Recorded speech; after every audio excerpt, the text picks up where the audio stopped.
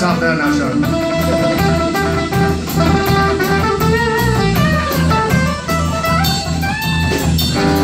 Oh man, did you hear that one, Scott? Uh oh.